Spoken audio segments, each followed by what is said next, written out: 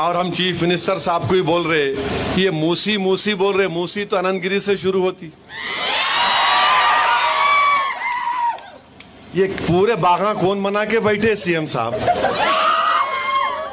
रास्ता ही बंद कर लिया वो लोग आप इधर हमारे पीछे पड़े हुए हैं। मूसी यहाँ से शुरू हो रही।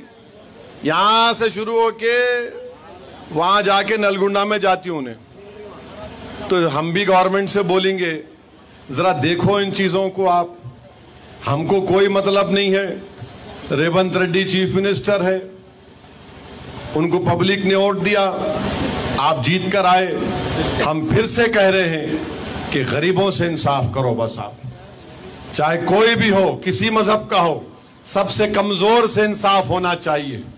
सबसे ताकतवर से इंसाफ इंसाफ नहीं होता। हमारे रियासत में कमज़ोर मुसलमान है। दलित है, आदिवासी है। और इनसे पहले इंसाफ होना। पिद्दलू दुरलू से इंसाफ नहीं होना। पहले गरीबों से, मजलूमों से इंसाफ होना।